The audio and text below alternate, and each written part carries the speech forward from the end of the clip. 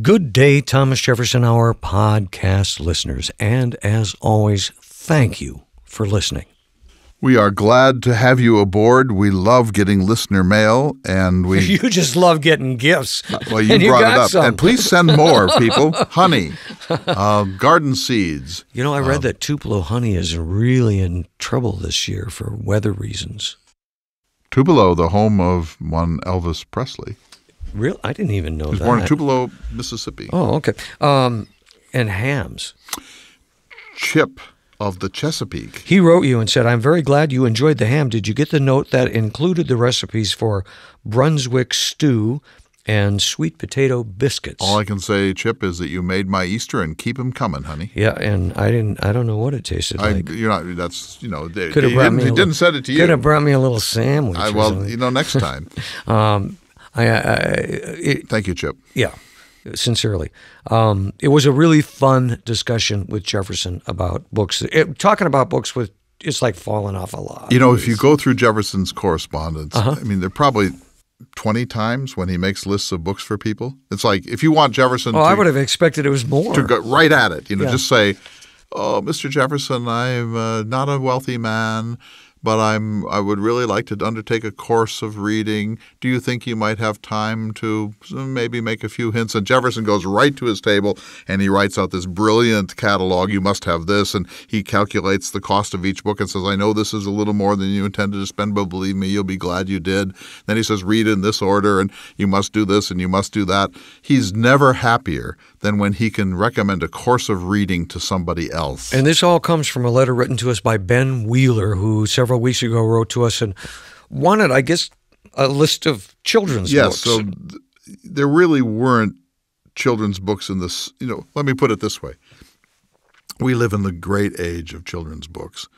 If you go to even a like a Barnes and Noble bookstore, you will find acres of uh, intelligent, well-written, age-appropriate, uh, award-winning books for young people. This is amazing, and of course, it comes at a time when reading is is diminishing fast. In Jefferson's time, there were children's books. There were primers and so on, but for the most part, you graduated quickly into adult literature, and people were able to do it. You know, it's one of the most astonishing things that I read about when I study biography is that such and such a person went to Oxford at the age of 12. And you think, what? At 12? They're at Oxford studying Greek or Hebrew or astronomy, but it's true that they were hothousing children in that era, and children were expected to be miniature adults and to behave like adults. And so that's a whole different world. Childhood is a kind of a post industrial or an industrial urban invention, and we Americans love a prolonged childhood. In Jefferson's time, if you were living in New England, you were out slopping hogs. Well, prompted by this letter, I did a little research. Okay, sir. Trying to find out about children's literature. Okay. And most everything that did exist um, in America during Jefferson's time would have come from England. British lit, yes. It, it is said that in the 1820s, uh, children's literature became sort of became its own thing. It was starting And- to and- grow and after. Jefferson's time, really. Looking at Jefferson, there were a couple of fiction books that you talked about that he would recommend. Three, I think it was. Uh, yeah, uh, so Robinson Crusoe, absolute essential reading, and it could be read. It could be read by a ten-year-old. You know, there might be a few hard terms, but it's it's not complex, and it's a great adventure story. Don Quixote, and Jefferson, I think, once said that it was one of the few books he ever read more than once. He read it in Spanish, learned Spanish in order to read it. Not necessary. There are brilliant translations of Don Quixote, and there are abridged versions. So, you know, a young person might not want to read all 600 pages of the first um, Don Quixote. There turned out to be a sequel too, but uh, a good abridged edition of uh, 150 or 200 pages will give you the highlights of, of Quixote, and it's a it's a universal story. Uh, th- th- this is the one that I came across that I found so fascinating because if you do a search of you know of Jefferson's correspondence, this book comes up over and over and over again. And the third is Gulliver's Travels, which you know in our time, um, it's read in English literature courses, but it, but it's also read by children. But it's always read by children in a very heavily redacted version because the, the, the, the two it's four books, and the first one is the voyage to to Lilliput, where the people are puny, and Gulliver is a giant. And the second voyage is to the Brobdingnagians, where Gulliver is a pygmy and they're giants. The third book is to this kind of wacky scientific academy that's filled with the most bizarre over reasoning and and and, uh, and and lack of pragmatic grounding. It's actually a magnificent book. It talks about projectors, these people, these kind of visionaries who, who you know can't balance a checkbook or or put food on the table. And Jefferson, in a certain way, kind of qualifies as an American projector. And then in that one's quite abstract and not for children. And then in book four, it's the the yahoos and the Houyhnhnms. The Houyhnhnms are these rational horses, and the yahoos are these um, these primates. And it's very nasty. It's all excremental, and there's some kind of veiled sexuality and incest, and it's it's not for children. And so, a children's version of Gulliver's Travels is is a is a digest of the first two books, and then nothing from book three and book four. But but for adults, you cannot do better. I, I read Gulliver's Travels at least once a year and I'm always just completely blown away by its greatness. I may have to put that back on my uh, list. Do. Um, but if I can step back just a minute again to Don Quixote, there's a whole bunch of letters between Jefferson and Mary Jefferson um, in April and May of 1790. That's his daughter Maria. Uh, how many pages a day do you read in Don Quixote? Uh, how far are you advancing in him? She writes back, I have not been able to read every day as I've been traveling ever since I saw you last. He writes back, um, uh, your last told me you were not doing what, what that what you were not doing that you were not reading Don Quixote. I hope your next will tell me what you are doing. He's hothousing his own daughters. And then it's as she writes back, I read every day to my aunt and say my grammar in Spanish. well, so he's wanting her to read Don Quixote in Spanish. Uh-huh. I thought that was pretty interesting. What a tyrant. And then April 18th, 1791, I have finished Don Quixote. Poor thing. Uh, you know, my Well, daughter. was looking for dad's approval. my daughter's 24, and now she says to me, "Well, surely you've read X." Yeah. And I thought, wow, the, the, old whirligig of time. We got a, I got a gift uh, from one Stuart Webb of England. Came across the ocean, a book, 1776, a London Chronicle, or how Oh, yeah, to right. divert Last oneself week, yeah. while losing an empire. It's a beautiful book, and I do actually believe that begging for gifts pays off. But here's my point: he says in the in this beautiful handwritten letter, you guys sometimes Oh, sorry. kind of lose track. Time to go to the show. No, but I want to tell you this story because it's Oh, right up no. his. No, you got to hear it. It's right up his alley. So Don Quixote and Sancho Panza. So Don Quixote is the tall, uh, emaciated idealist, and Sancho Panza is the pragmatist who's kind of you know constantly warning Don Quixote. So it's like a universal paradigm, and we see it all over the place. Jefferson and Madison, in some ways, are these, or Jefferson and Adams. But remember, Quick Draw McGraw when you're a child. And Quick Draw McGraw was a dog who was a sheriff in the Southwest, and he had a Hispanic um, deputy right. named um, Baba Looey. Remember this? Yes, I and do. so, and like Quick Draw would always like there'd be a nest of thieves all with with guns, and Quick Draw would want to go right in and arrest them, and then Baba Looey would say, "I don't think that's such a good idea." And then Quick Draw would say, I'll do the thinning around here, Baba Looey, and don't you forget it. And then Quick Draw would go in and he'd get the living daylights beaten out of him, and then Baba Looey would patch him back together. And this was this was Don Quixote in cartoon form for children. And the way that the Quick Draw won the battles was he was a singing cowboy. He had a guitar. And when he finally dispatched the Black Bart character, he'd hit him over the head with his guitar and he'd say, El Kabong! Uh-huh. Remember this? Uh-huh. This is this is the Don Quixote of our childhood. It exists in many forms, is my point. Don't cut that because I want Stuart to say, I told you so. Cut out the digressions. I think I like Pancho and Lefty better. But anyway, I'll do the thinning around here, Baba Looey. got it. Yeah. Thanks for listening. We really appreciate Come on it. the cultural tours, France, France. Go to jeffersonhour.com. We really appreciate your support any way you can give it to us, and we've gone on long enough. So More here- gifts too, please. Here's the show. Thank you. Heavens to Murgatroyd. Good day, citizens, and welcome to the Thomas Jefferson Hour. your weekly conversation with President Thomas Jefferson. Mr. Jefferson is portrayed by the award winning humanities scholar and author Clay Jenkinson. I'm your host, David Swenson, and seated across from me is President Thomas Jefferson, and good to see you, sir. Good day to you, my dear citizen. Mr. Jefferson, I have some questions from your many listeners. I'm going to begin with one uh, that I suppose will take a bit of time to answer. A subject that you always enjoy talking about, I feel fairly confident in saying that, and that is books, sir. I cannot live without books. My father, Peter, was uh, a self made man.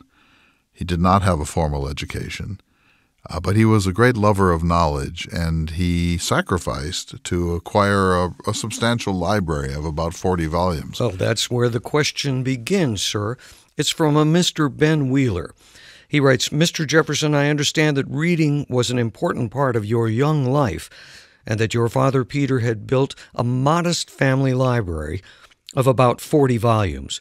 I am curious are there any records as to what those 40 volumes were and how they were selected? There, there's some evidence for this. Uh, there's not, there's not a, a, a, precise and formal catalog, but these were the books that uh, an English reading gentleman uh, or person of, of curiosity would consult. And so, for example, uh, there would be a, a fairly large um, collection of English literature. So Chaucer, Shakespeare, Ben Jonson, uh, Alexander Pope, John Dryden, um, that whole world of English literature from Beowulf, uh, which is a, a medieval uh, poem, all the way up to the present time, which would be Alexander Pope and and uh, uh, Jonathan Swift and, and so on. And so that would be part of it. Then there would be basic works of history uh, and politics. Uh, so, uh, sort of a, a, a, bit of nonfiction that would go along with this. Uh, but there were essays, there were learned essays in the English speaking world of the time. Um, Addison and Steele uh, had produced some of the most um, exquisite English prose of the 18th century, and and and their their essays were seen as sort of a, a primer of how a gentleman should behave and, and what sense of uh, emotional detachment he should have, his his his cosmopolitanism and his, his sense of bemusement, his his steady character, his civility, and so we were taking a lot of our um, formation of character from uh, the Spectator and from Addison and Steele. And, and Dr. Johnson, Samuel Johnson, the, the great lexicographer uh, who published the Dictionary of the English Language in 1755, was also uh, a serious essayist, not, not one to my great admiration. I think he's a, he's a fairly dictatorial figure in English literature, but he wrote The Rambler and The Idler and The Adventurer, a series of, of essays about conduct and, and, and, and moral life. And, and they were essential reading for any young person in our time. You mentioned history, sir. Um, I'm wondering, was that ancient history and ancient history alone, or was there some contemporary for your time history? Well, not much. My father uh, died when I was 14.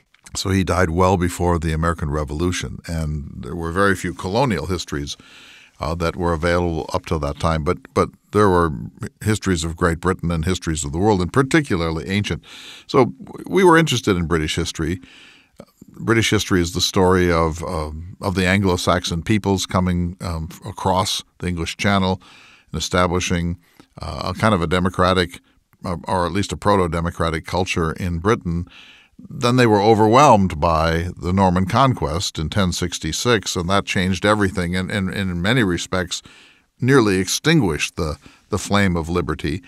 And subsequent British history is the reclamation of the ancient rights and liberties of the Anglo Saxon people against the Norman yoke. And so this was essential reading for anybody who was interested in the American experiment or, or the or the the way Britain had evolved into the nation that it was at the time of my father's young manhood. And so we read all that. But but for the most part, the history that we concentrated on was the history of Republican Rome, That would be Rome from 509 BC until uh, about 30 AD, and also uh, Greece, uh, Athens particularly, in the time of uh, Pericles and Aristotle and Plato.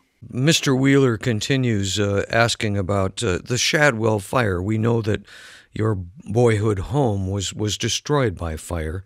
Um, he wonders if any of those volumes survived that fire. Yes, unfortunately, my boyhood home, Shadwell, burned completely in February 1770, and with it, almost all of my personal effects, including uh, papers and books. Uh, fires were a terrible problem this time. First of all, we were leading profoundly rural lives, so there were no uh, fire departments and or, or, cooperatives which could put out a fire.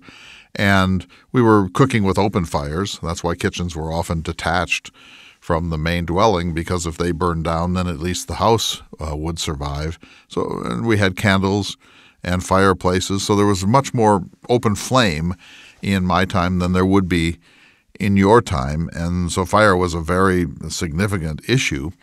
Uh, and Shadwell burned down, and when it burned down, it took everything. And in a certain sense, I'm I'm glad for that because it forced me to design my own home, which became Monticello.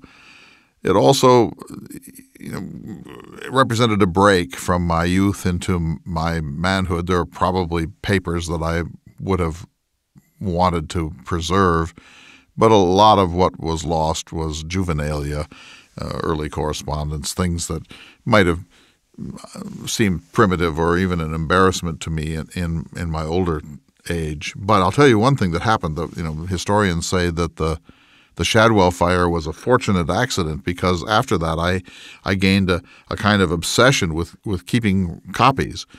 So I thought, what if the, what if there's another fire, and, and this time it might be at a time when I'm performing as the governor of Virginia or the Secretary of State or even the president, and so I I began to make copies of everything that I wrote, so that in the event of a fire, uh, some of those records would be saved, and and so historians are very pleased with this because, you know, if you send a letter to John Adams or send a letter to um, Thaddeus Kosciuszko, the Polish patriot, there's no um, guarantee that those letters will ever come back and be gathered into uh, a systematic correspondence. But if you keep all the letters you receive, but also make copies of all the letters that you send, as I did uh, beginning after the Shadwell fire, then you have a complete record of, of your correspondence, and correspondence was our essential way of communicating.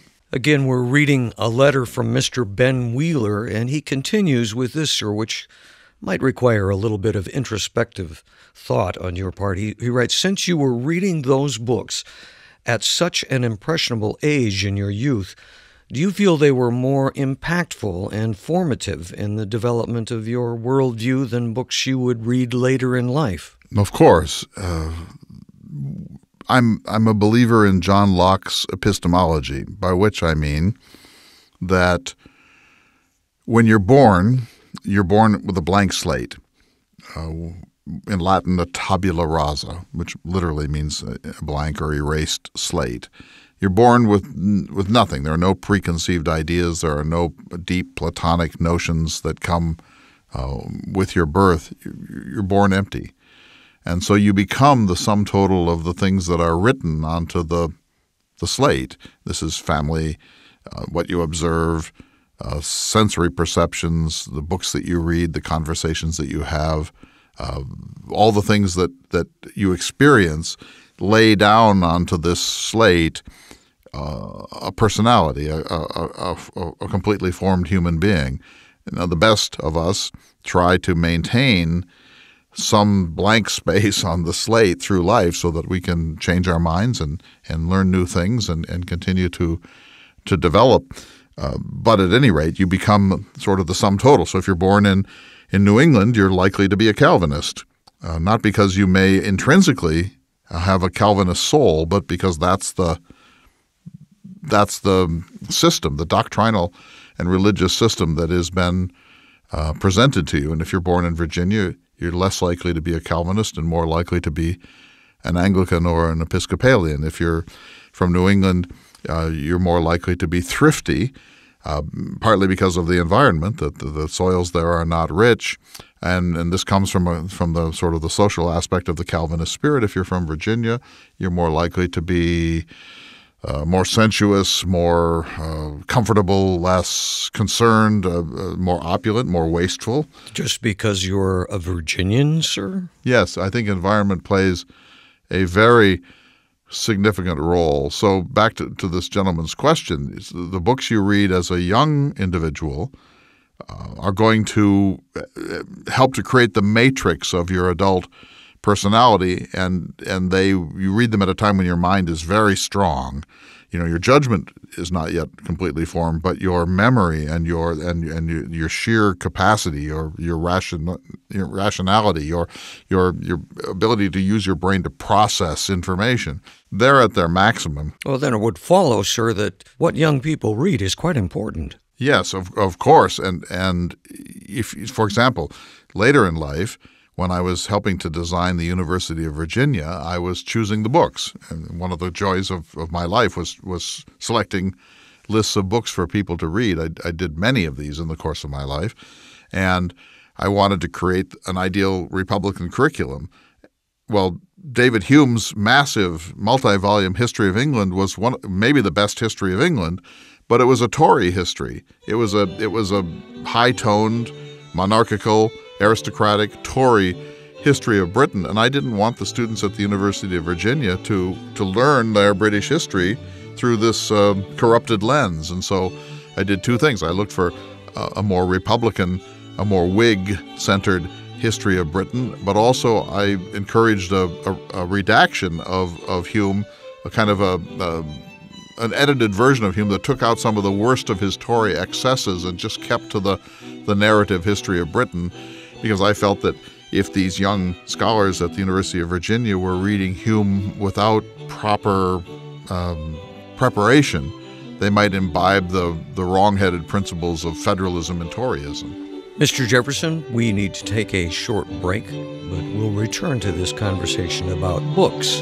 in just a moment. You're listening to the Thomas Jefferson Hour. In between segments, Clay, I wanted to give you the opportunity to tell people about the upcoming John Wesley Powell Symposium to be held in Vail. I am excited about this on Monday, June 17th, 2019, in Vail, Colorado, one of the most beautiful places on earth. I will be performing as the one armed Civil War hero and explorer, John Wesley Powell, who, is, who famously explored the Colorado River and its canyons in 1869. Now, this begins at 5 p.m. at the famous Saddle Ridge restaurant with a cocktail hour, uh, a sort of a social hour, and then your program begins at 6. I'll be performing as Powell. The hard part of this one is having to cut off my right arm, uh, but I do it because I believe in the humanities. But Saddle Ridge Restaurant in Beaver Creek is a very important place, and it has one of the largest private collections of American Western artifacts and art. So I'm, I'm excited. I'm going to Vail, Colorado in the summer. Its location is really distinctive too. June right? 17th, 2019, Saddle Ridge in Vail, or actually Beaver Creek nearby. John Wesley Powell, who wrote about how we should rethink Jefferson beyond the 100th meridian. For more information, go to jeffersonhour.com and click on events. Welcome back to the Thomas Jefferson Hour, your weekly conversation with President Thomas Jefferson. This week, Mr. Jefferson is kind enough to talk to us about books, and particularly, we started with that collection of, of 40 volumes that your father, Peter, owned.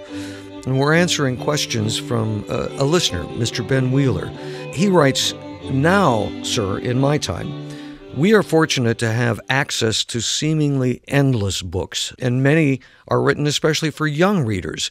Were there any books during your time that were written for children or adolescents, or were books limited enough that children were relegated to reading the same volumes as adults? Well, I slightly dispute the last clause of, of his question. Uh, it's not that we, the children were relegated to reading adult books, it's, it's that they had the opportunity to read adult books. You have a, a, vast and, and, and, by the way, very distinguished children's literature in your time. We did not. There were a few children's books, but. So it's a difference of perspective. We don't understand how unique and special uh, books were to children during. Uh, now we take it for granted. The average Virginia household had two or fewer books, you know, a Bible and a Shakespeare, perhaps, maybe neither. Um, more likely to have a Bible than a Shakespeare. But beyond that, there there wasn't really book culture. There were some newspapers and the beginnings of what you call magazines, uh, but it was a time of, where print matter was very rare, expensive, and hard to get, particularly in the outback uh, where I lived in, in, in rural Virginia. So most people didn't have access to books. It was a much more oral culture, uh, storytelling, jokes, jests, music, uh, conversation, uh, those things, preaching, those things were much more central to human discourse at the beginning of my life than they were at the end, and, and vastly more central to, to the discourse of, of my life than they would be in, in your time. So there were fewer books. Uh, there, it was hard to get these books, and, and, and there was not a particular children's literature in this era. So I remember so my father had this library of around 40 volumes. I've given you a sense of, of, of what was in it. I started reading at about the age of four, and I moved almost immediately into uh, what you would call adult books. Who, who would have taught you to read, sir? Almost certainly I taught myself. You must have been aided by your mother or father somewhat. My mother, uh, my father would not have had the time for this. He was often on the road. He was a, a, a surveyor and a map maker and a, a diplomat. Spent a lot of time on the frontiers of Western Virginia, and uh, I, so I wasn't home that often. I started school at about five, you know, going to um, neighborhood schools, private schools um, operated by clergymen during the week. And so I learned very early. You know, people in my era, in the Renaissance through my era, would go to university, to say Oxford or Cambridge or Harvard, at the age of 13 or even 12. So education started sooner. It was more adult in character. It was more rigorous by far than in your time. So you expected children to grow up fast. We didn't really have a concept of childhood. So a person uh, like myself at the age of, say, 12 would be expected to be a miniature adult. Uh, it's not the kind of prolonged childhood and, and, and indulgence of childhood that characterizes your era. We were expected to conform, to hold ourselves like adults, to gesture like adults, to have an, essentially an adult vocabulary, to have adult interests, to read adult books, uh, to participate in adult conversations. At age 12 or younger? Even younger, but certainly by the time we were 12. So, childhood, as you understand it, is a luxury of a very wealthy industrial urban culture. Well, I think of your time and you know, primarily uh, farmers. Farmers like large families because they're uh, it's a built-in labor force. Is that too crass to say? No, certainly not. You know, a farm is a is a very complicated business, and to to raise lambs, or to uh, make cheese and have it and, and, milk cows, and and to slaughter uh, pigs, to feed all these animals, to grow vegetables for uh, for the table, to do all the things that have to be done on a self-sufficient farm. I mean, a farm in my time was a sort of miniature civilization that, that it essentially could provide everything that anybody needed on that on that piece of ground. This requires a considerable amount of labor. Now, you know, I come from a a gentlemanly background, and I come from a, a society of slaves. So it would be different in New England. In New England, the family, or maybe one or two hired servants, would do the labor, the milking, the the slaughtering, the, the cutting out of a beefsteak, the, the milling of flour, whatever it might be. In Virginia, because of slavery, um, which was, you know, whatever else you want to say about slavery, it was a source of, of ready and inexpensive labor. And so I wrote a letter about this once saying where you can get somebody else to do your work, you're unlikely to do it yourself. This is a deep character flaw in the American South, especially in the in, in the slave South. And so we our children our children didn't do the same kind of work that they would have done in Pennsylvania or New England. Yes, I must interject, uh, sir, that there are contemporary Americans who have much more to say about the enslavement of people. Yes, than I, you mean? Yes. Of course, I don't want to. I don't want to get lost on that subject. I'm merely at the moment talking about sources of labor. So, a, a farm family in Vermont would be almost fundamentally different in its approach to uh, self sufficiency than a farm family in Maryland or Virginia, because we had uh, slaves, and slaves performed almost all the labor and a, a young person, a squire, the the daughter or, or the son of a of a Virginia slave owner, would have had a very pampered life, would have been expected to learn household management and, and, and other skills, but compared to uh, somebody living in, in, in Western New York, uh, it's it's night and day. I uh, have to go back to this quote uh, you've referenced many times in our conversations.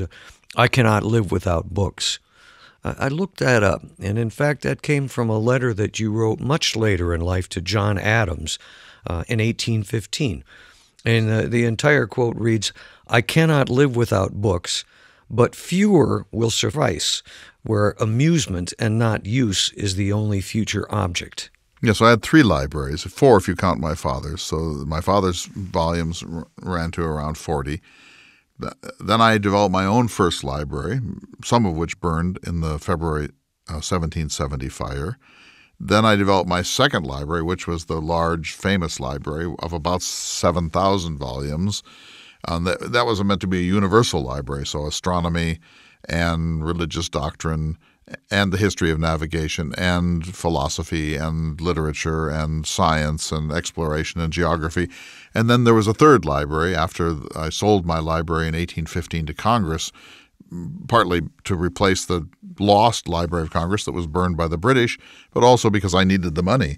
And then my third library numbered a, a couple of thousand volumes. And that's where I said to Adams, now that I am elderly and no longer a statesman, I'm just choosing books for pleasure.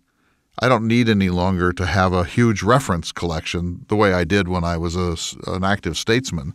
And so then it was just math, um, Greek and some Greek, uh, gardening books, books that pleased me in my old age. Uh, I needed those books because I had sold every book that I had to Congress. And so that replacement library was a much more narrowly focused one. And I bring up the entire quote only to reinforce the point that you were a user of books. You were not someone who just wanted to have them to look at and be proud of your collection. You used your books. So we began by talking about my father's library, which included a kind of a basic set of English literature Chaucer, Dryden, uh, Swift, Pope, Shakespeare, Milton. Uh, I had all those books in all three of my libraries, of course, but but as I grew older, those books became less important to me. I'm essentially a reader of nonfiction. I believe that the the purpose of my life and the purpose of my generation was, and I use this quote often, to ameliorate the condition of mankind.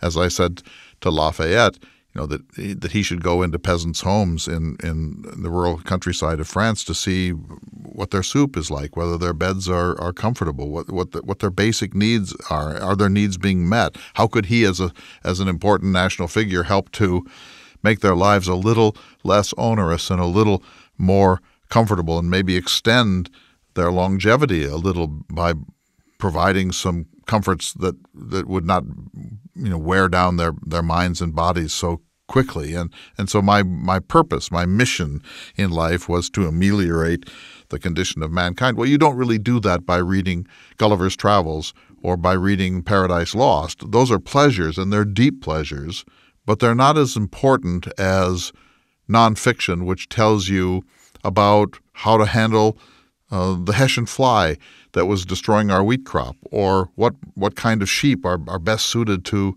uh, North and South Carolina, or what the geography of, of the Louisiana Purchase really is so we can begin to plan our extension of the American Republic towards the West. These things are, are extraordinarily important, especially in, in my era of American history and, and imaginative literature Homer, Virgil, Milton, uh, Shakespeare, those things would be much less important to me personally, and I think to our to our culture. Listening to you talk about the pleasure of reading, I, I would suspect, uh, and, and I, may I say, I'm with you, Mr. President. I uh, I prefer nonfiction myself, but there's a pleasure in in learning. Yes, what one wants is information, data. You want to know how high the Rocky Mountains are. We want to know where the source of the Missouri River is. We want to know, if we can, something about the origins of the ingenious Mandan Indians of, of the upper um, portion of, of the of the Missouri River, the upper Louisiana. We want to know something about the ocean currents or, and the nature of winds and weather. Uh, we want to know things that, that are practical and are useful to the human experiment. And so it's information we want. In your time, you have tools that are not related directly to books that can provide information in magnitudes almost infinitely uh, more uh, profuse and immediate than was available in in our time. And so you're very fortunate in that regard because that's what we basically want.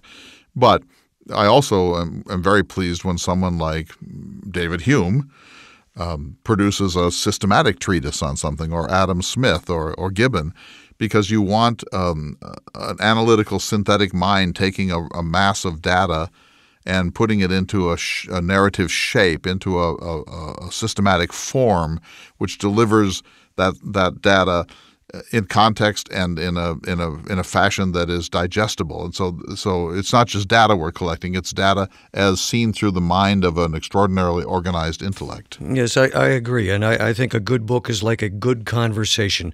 Uh, Mr. Jefferson, I I want to ask the last question from Mr. Wheeler. I'm anxious and interested to hear your response, sir. He writes Many parents in my time read to their children in the evenings before bed. When you were young and before reading age, did your parents read to you? And if so, was this custom passed along? And did you read to your children? I don't recall being read to. I certainly didn't read to my own children and grandchildren. Um, it was expected that they would read and then we would discuss. And we had this thing, this little habit. I don't know if I've ever said this to you, but, but after the main meal of the day at Monticello, which would be uh, three in the winter, 4 p.m. in the summer. Would last maybe a couple of hours. Then we would all sort of scatter, and, and the children would go out and run races or um, work in the garden or, or, or do whatever it was that they wanted to do. And then there would be tea time. And during tea time, which was sort of a light supper, we would have a, there'd be a period after it where we sat around my chair this would be my children and grandchildren and nieces and nephews and whoever happened to be there. And everybody would pick up a book, and there would be a period of, say, half an hour of absolute silence. No one could make a peep. Everyone had a book, different books. And then afterwards, there would be a kind of informal seminar, and I would say, well, what, what to a grandchild, say Ellen or Virginia, what what were you reading? And tell us about it and and what what questions does it raise? And and why did you choose that book? And so there would be a this sort of informal reading circle. I thought this was very important because i think it's a i, I wanted my grandchildren to, to, to be intelligent and well read but but b i wanted to create the the sort of conversation that can only come when there's something actually to talk about not just gossip and and and routine um, patter about the weather. You did uh, recommend magazines as well, sir. The magazine was born in this era. The first magazine was called the Gentleman's Magazine in London. It's the one that Samuel Johnson wrote for before he became the famous lexicographer. And the term, it was a man named Edward Cave who created this. Uh, and he was using a metaphor. In your time, it's a convention to, to, say something is a magazine, but in this time, it was a brand new term. And he was saying, just as you, you put lead and powder and, and rifles in a, in a magazine, that's what that's known as. A magazine is sort of the armory.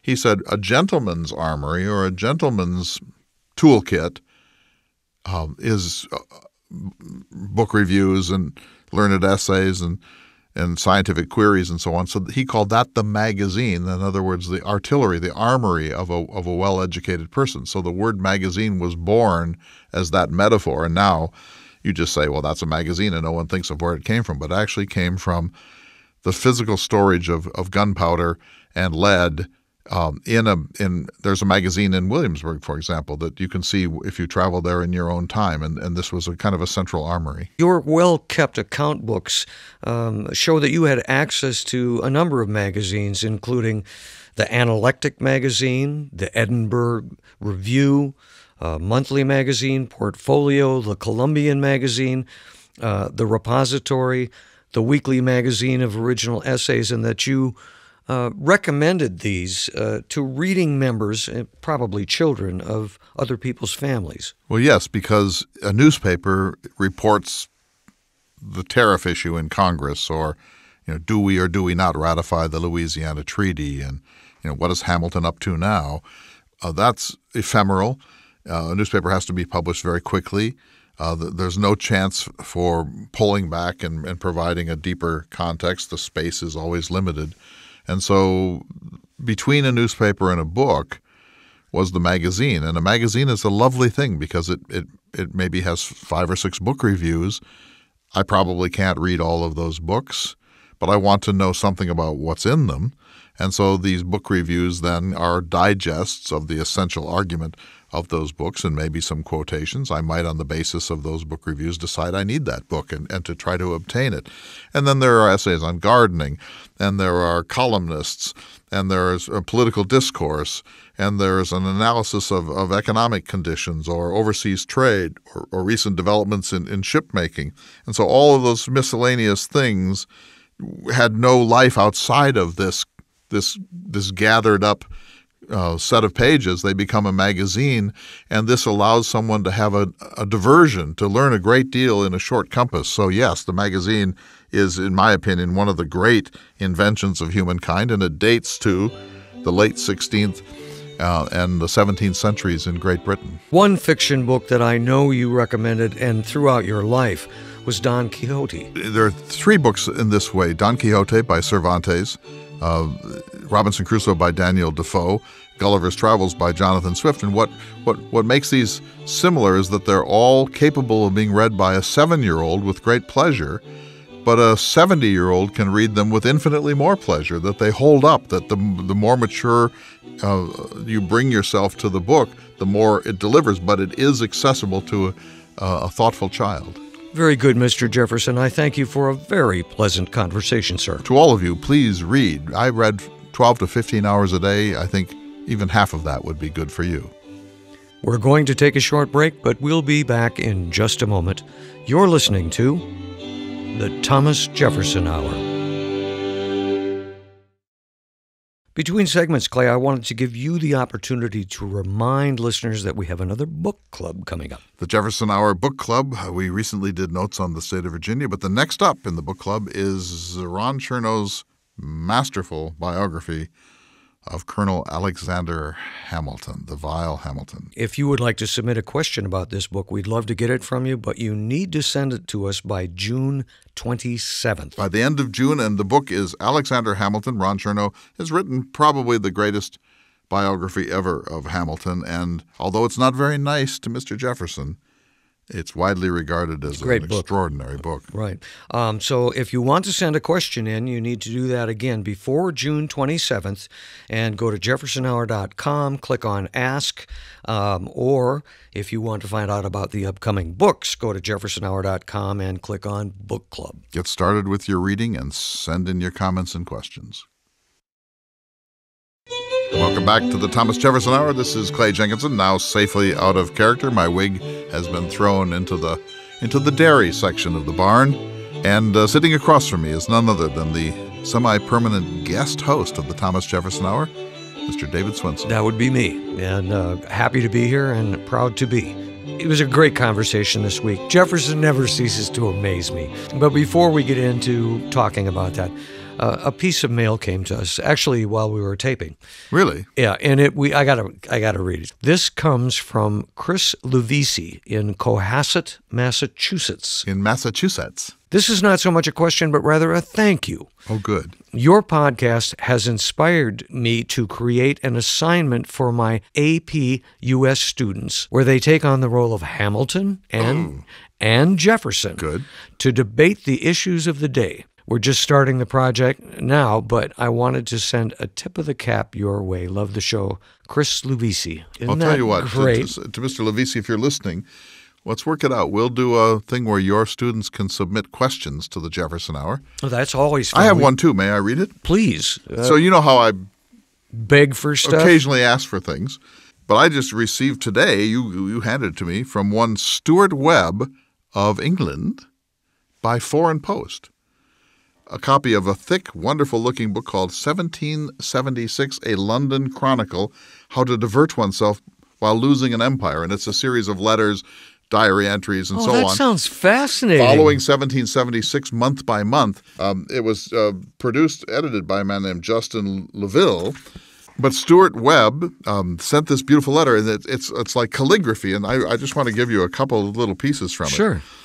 Uh, he says the, the program remains essential listening and an important part of my life. I continue to find it interesting, informative, and entertaining. I come to the program from a general interest in history and a time I was looking to broaden my horizon. I find myself some four years later with a keen interest in the Revolutionary period and the Enlightenment. And then he goes on to say uh, that uh, he wishes us to continue doing this, and he wants to send this book as a small token of uh, his gratitude, which I greatly appreciate. And then there are a couple of afternotes. Please keep the podcast introduction. It sets the show up well and is often the most relaxed part of the program. I mentioned this latter point as a major strength of the show uh, is the chemistry between Clay and David and the warmth of your friendship. And then he's, but then he says, and please maintain the Jefferson watch, given the fractured state of politics in both the UK and US. I value this oasis of calm reasons opinion. And then he has one last piece, but it can't all be good. And he says, I like your informal uh, approach, but I remember that sometimes you go a little off topic. I recall Clay talking of his ham radio days and David trying to broaden Clay's appreciation of Bob Dylan. I realize that the program has a specific remit, but I wonder if more free ranging conversations would be considered as premium items on the 1776 Club. I think I think we get that. What a great letter. Noted and, uh, and- and 1776, a London Chronicle, or How to Divert Oneself. You know what I think? If you beg for gifts, you often get them. This one came across the Atlantic Ocean, and now I have it in my hand. yeah, Send gifts, you get mentioned. If you send a ranch dinner with us here in North Dakota, Uh, pay no attention to that man in the corner. Um, but uh, it is very nice to get those Oh, things, so and it looks like a fascinating book. I hope we'll have a chance to talk. I'll lend about it to you uh, in a in a year's time. And you know, uh, criticisms we we want to hear from people. You know, um, the ongoing one in the past mm, month, six weeks is. Would you please get off current politics? And also, we really like to hear the perspective on current politics. So I'm I'm backing it away a little, and I'll tell you why. Because I don't think you know. I'd never heard this term before the 2016 election. The things are quote baked in, but I do think they are, and I think that, that we're in a time when people just talk over each other, and there's no real discourse. Jefferson is the root of the program, always has been, always will be. But I also I enjoy hearing Jefferson's perspective, be it from he or you, um, on on how things are working out. I appreciate that, and I like that, and I and I think our conversations do get at some important some important constitutional and Jeffersonian points. But but let me go back to the theme of this program, books. So this wonderful letter talking about the 40 books in Jefferson's father's library and then Jefferson's love affair with books. And then you and I got into this conversation when we first got the the letter. Could I produce a list of 40 books that I think everyone should read? Uh, Can, can we promise at some point that we'll post Yes, this? and so but I started, and then I thought, wow, this is harder than you think because if I had, if you said to me, what are forty books that every Jeffersonian should read? Any Plutarch? There's some Plutarch there. There's Any some- Tacitus? Yes, of course. yes, uh, Montesquieu, the Federalist Papers. You you can get to forty pretty quickly. So that's every Jeffersonian. But if someone said to me, Mr. Jenkinson, if you yourself, forget Jefferson, were recommending forty books, what would they be? Well, that's a whole different discourse Yeah. and hard because then you start to second guess yourself and think, well, Whitman's Leaves of Grass, okay, and then Thoreau's Walden, okay, and suddenly you're at 180 books.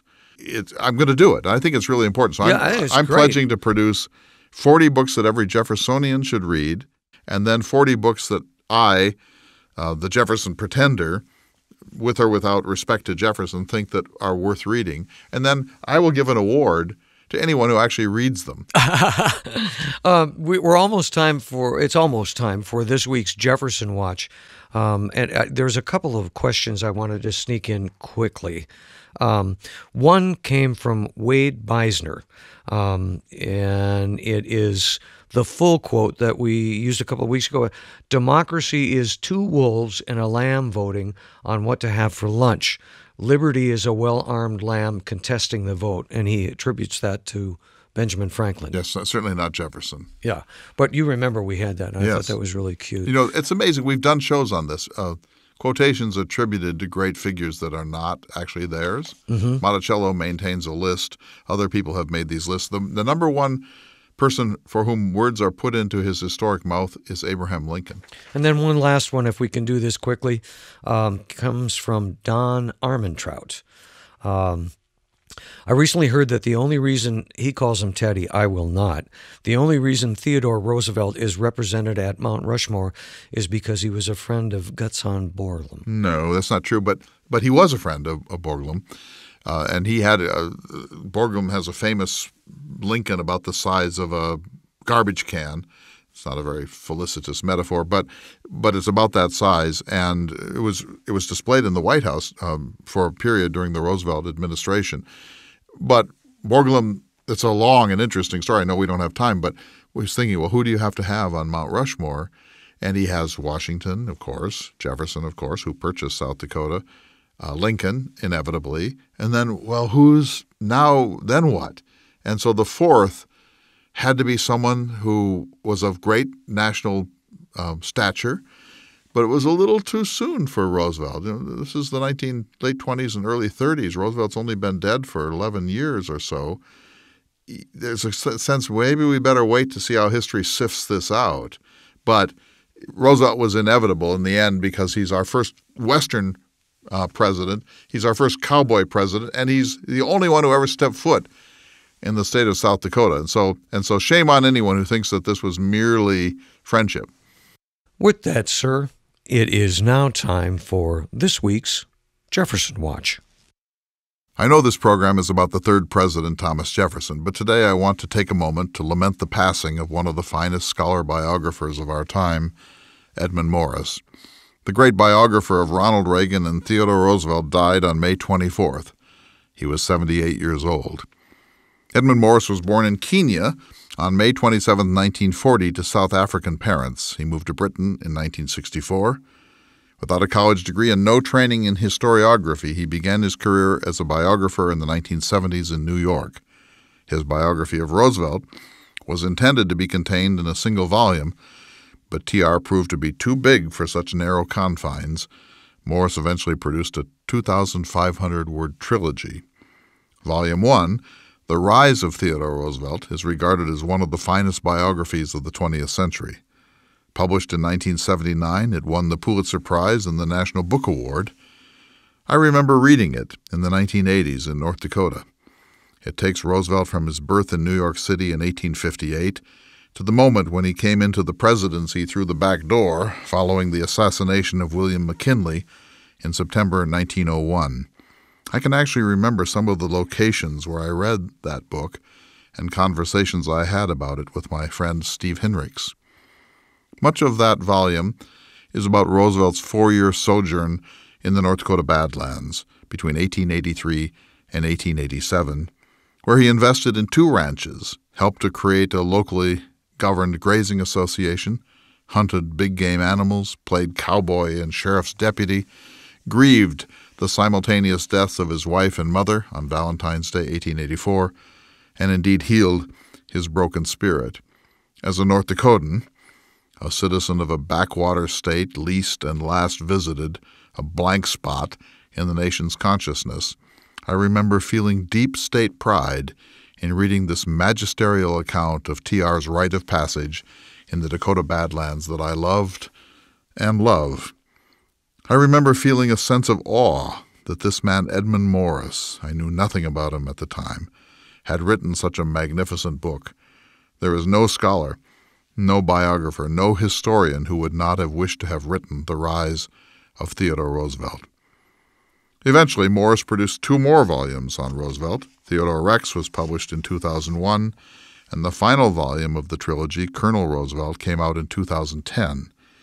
Volumes 2 and 3 were not as powerful and masterful as The Rise of Theodore Roosevelt, but they were still great. And all three are must reading for anybody who wishes to come to terms with the hectic, brilliant, boisterous, heroic, and deeply charismatic Roosevelt. Unfortunately, Morris interrupted his work on Roosevelt to write a thick one volume biography of another cowboy president, Ronald Reagan. Dutch, a memoir of Ronald Reagan, was published in 1999. In some respects, the Reagan biography shattered Morris's career.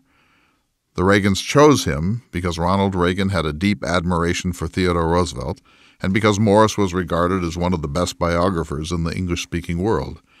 Morris was granted virtually unprecedented access to President Reagan. But when he sat down to write the official biography of one of the more consequential presidents of the 20th century, he came to the conclusion there, there was really no central core to Reagan. Uh, he was boring, that his life outside the presidency was not very interesting, and that if there were a compelling center of Reagan's soul, it was so deeply hidden and protected that he could not write a great biography using traditional methods. At that point, Morris made a fateful decision. He inserted himself into the biography as a fictional character who had known the president from childhood. The result was a book that broke hearts. The Reagan family was hurt, even outraged. Reagan admirers and lovers of presidential biography felt betrayed. Reagan speechwriter Peggy Noonan dismissed Dutch as, quote, a belly flop into the pools of Narcissus. The book was severely criticized by historians and the publishing establishment. Even people who were not offended shook their heads and concluded that a very important opportunity had been lost. As usual, Thomas Jefferson provides a key insight. He wrote, Every human being must be viewed according to what it is good for. For not one of us, no, not one, is perfect, and were we to love none who had imperfection, this world would be a desert for our love. I love that. Morris's greatness far exceeds his biographical degradation of the Gipper. Morris came to North Dakota two times in the last decade of his remarkable life, once when Dickinson State University hosted the annual Theodore Roosevelt Association meeting, but even more interestingly, when the U.S. Forest Service obtained the Eberts Ranch north of Medora directly in the viewshed of the Elkhorn Ranch Unit of Theodore Roosevelt National Park. I played a tiny little part in that event some of which took place at the Eberts Ranch, and another part at the Burning Hills Amphitheater in Medora. Morris was a remarkably elegant and articulate man, with a South Africa and British accent, a perfectly cut short beard, a finely tailored suit, just a bit of hauteur, and a slightly dismissive attitude towards American civilization. It was about 120 degrees on that hot July afternoon at the amphitheater, which can be a furnace in mid afternoon, about 200 people had gathered to celebrate the saving of the Elkhorn Viewshed after years of false starts and political wrangling. Former Governor Ed Schafer gave a brief speech, and then the great Edmund Morris lectured for perhaps 20 or 25 minutes. I know this will sound a little gushy, but you felt you were in the presence of biographical royalty when Morris spoke. At the end of a finely crafted address, Morris asked for an, an indulgence. He would like to read from the opening of a chapter entitled In Cowboy Land from Roosevelt's 1914 autobiography. I sat forward. That chapter opening, in my opinion, is one of the finest things Roosevelt ever wrote. He wrote 40 books, depending on how you count, all by himself, some of them classics, but this was a special passage even by Roosevelt standards. Here it is. It was still the Wild West in those days, a land of vast silent spaces, of lonely rivers, and of plains where the wild game stared at the passing horseman. We worked under the scorching midsummer sun when the wide plains shimmered and wavered in the heat, and we knew the freezing misery of riding night guard around the cattle in the late fall roundup.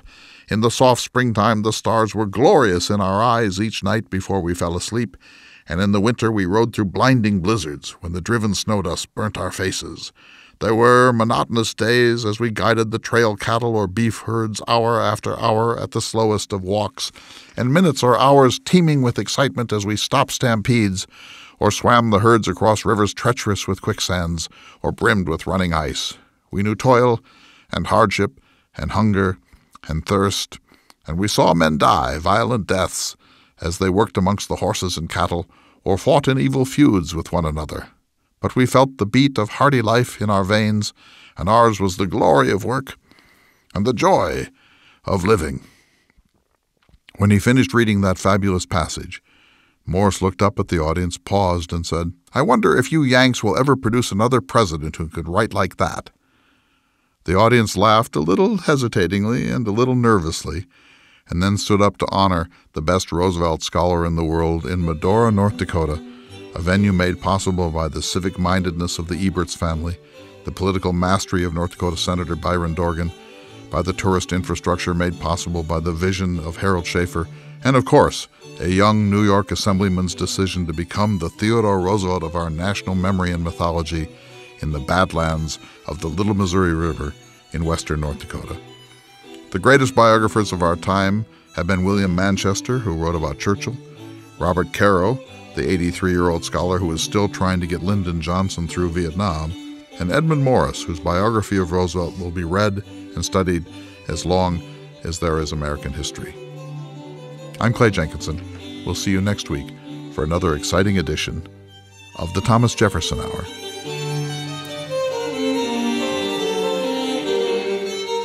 The Thomas Jefferson Hour is brought to you each week by Dakota Sky Education. The program is distributed nationally by Prairie Public Radio. President Thomas Jefferson lived from 1743 to 1826, and this program presents his views. President Jefferson is portrayed by the award winning humanities scholar and author, Clay S. Jenkinson. To obtain a copy of this or any past show for a $12 donation, please call 888 828 2853. Again, that number is 888 828 2853. This program is also available online at jeffersonhour.org and on iTunes. If you'd like to correspond with President Jefferson or submit a question for him to answer on the program, please visit the website at jeffersonhour.org. The Thomas Jefferson Hour is produced at Makoche Recording Studios in Bismarck, North Dakota. Music by Stephen Swinford. Thank you for listening. Please tune in again next week for another thought provoking, historically accurate program through the eyes of.